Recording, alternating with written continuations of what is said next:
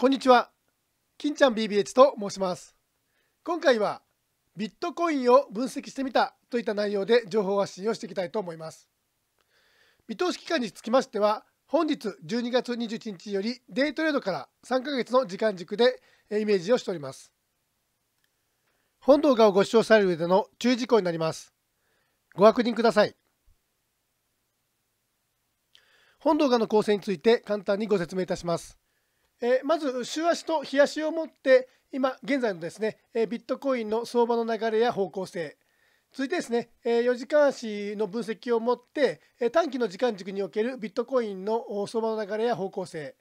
最後、15分足のですね、え分析をもって、超短期のビットコインのですね、動き、ね、流れ、値動きの予測を実施していきたいと思います。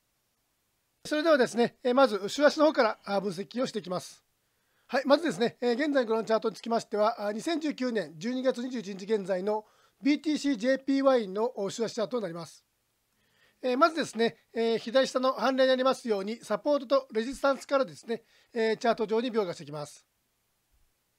えサポートにつきましては、40万円と70万円付近に、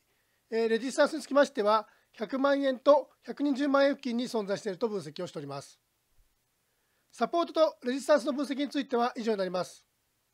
え続いて、チャートの詳細な分析の方に入っていきます。え現在ですね、え週足チャートを引きで見ていきますと、このですね、え線に囲まれた部分ですね、え水平線に囲まれた、ラインに囲まれた部分で、えもみ合いになっているのが確認できるかと思います。このもみ合いはですね、えブレイクした場合につきましては、ま上にね、ブレイクした場合につきましては、おおむね100万円付近ですね。え下にブレイクした場合につきましては、大体ですね、57万5000円付近まで動いてくることが予想されます。週足の分析については以上になります。続いて、日足の分析に入っていきます。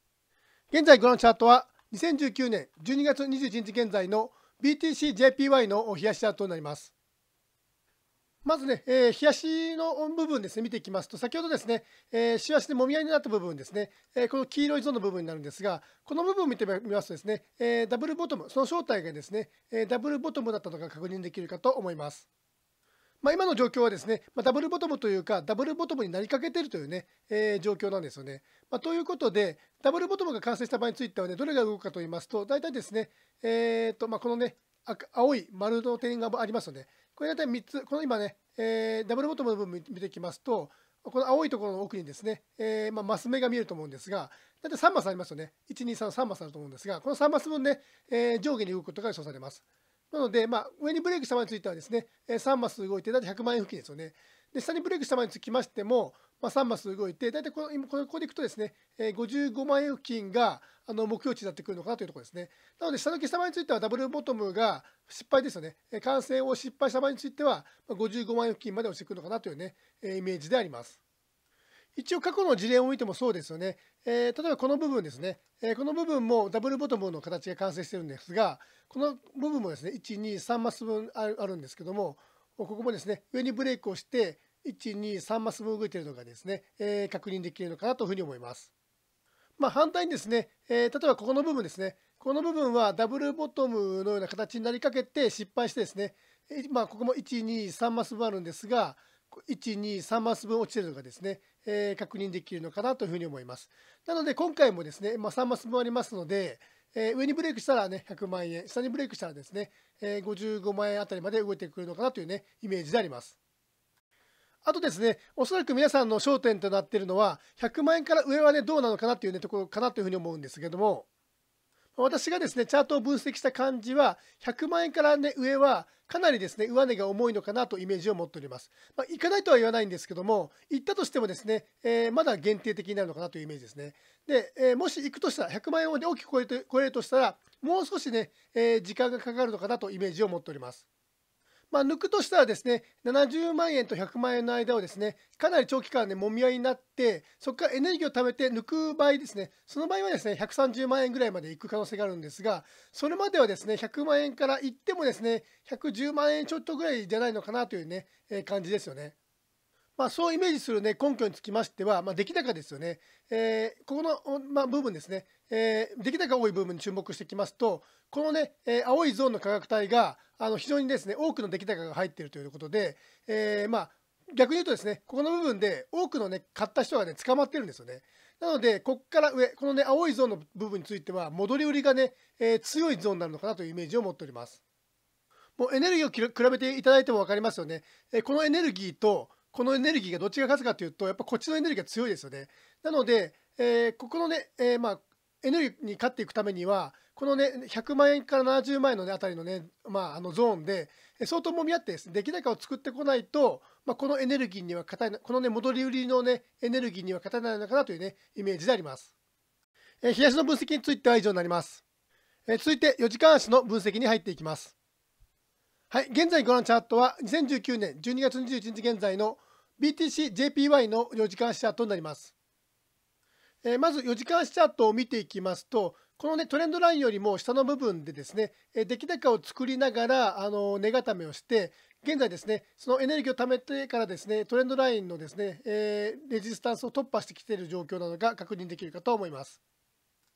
でですね、今現在ですね、えこのトレンドライン突破した後の、このトレンドラインがですね、突破が本物かどうかね、確認するためのですね、えー、もみ合いになっているのかなというね、状況ですよね。えということで、このね、トレンドライン突破のね、エネルギーを見積もっていきますと、大体ですね、この赤い矢印分のエネルギーが、このブレイクの、ね、ポイント起点からですね、プラスされるということで、えー、まあ、イメージするとですね、大体86万円あたりが、あまあ、あのこのトレンドライン突破のですね目標値になってくるのかなとね、えー、分析をしております。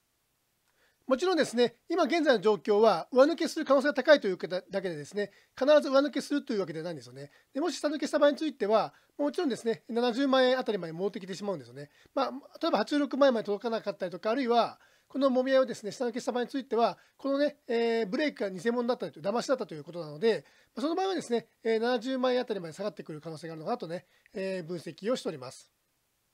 まあ、パッと見ですね、86万円あたりというのは妥当なラインなのかなというふうに思うんですよね。え、というのは真ん中のね、高値預金がちょうど86万円あたりなので、ちょうど86万円まで、ね、来たらですね、えー、この辺りでもみ合って、今度はダブルボトムが完成するかどうかのね、えー、もみ合いになってくるイメージがね、湧くと思うんですが、まあ、多分ね、えそういう形になってくるのかなというね、イメージを持っております。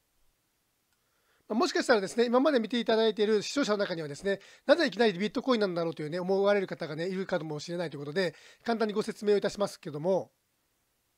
まあ、実はですね、えー、相場の原理原則のビットコインマンジョンをですね、今ね、作成依頼を出してるんですよね。まあ、それがですね、完成するのが1ヶ月先か、まあ、2ヶ月先かですね、ちょっとわかんないんですけれども、まあ、基本的にですね、相場の原理原則というのは、私のロジックが入っているということで、えこのね、私のロジックが、まあ、仮想通貨に果たしてですね、えー、通するかどうかね、試すという位置づけでですね、今ね、ビットコインの予測をしているわけであります。まあ、一応ですね、若干宣伝になるんですが、ツールにつきましては、まあ、採用トレーダーのためのですね、EA になるんですよね。まあ、どういったものかと言いますと、例えば裁量トレーダーがですね、エリオットアドとかチャートパターンを認識をして、天地を踏んでですね、えー、まあ、ある操作をすれば、まあ、エリオットアドの目標値とか、チャートパターンの目標値をね、チャート上にアウトプットするというね、ものなんですよね。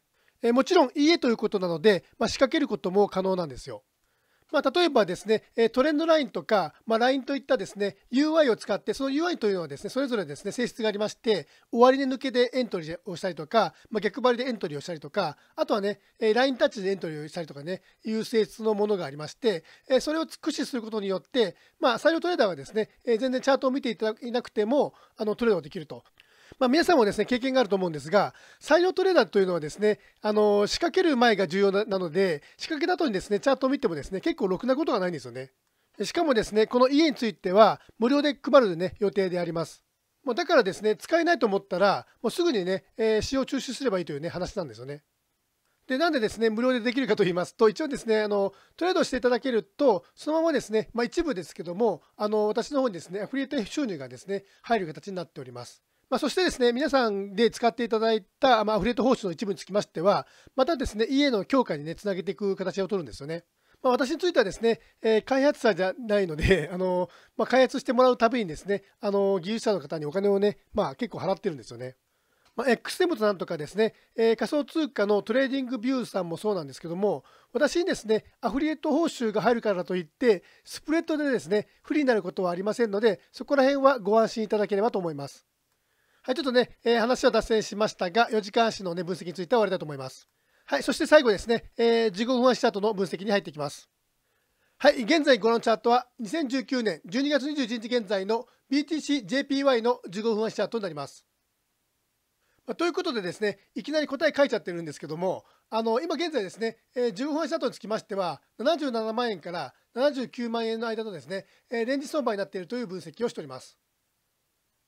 まあ、なので、この、ね、レンジ相場を、ね、ブレイクした場合につきましては、まあ、それぞれですね、2万円のエネルギーがあるということで、えー、まあ、上抜けブレイクでですね、81万円付近、で下抜けブレイクでですね、75万円付近に、ね、動いていくのかなとねえ、分析をしております。ビットコインですね、えー、BTCJPY の分析については以上になります。えー、以上ですね、えー、動画については終わりたいと思います。本日も最後までご視聴いただきありがとうございました。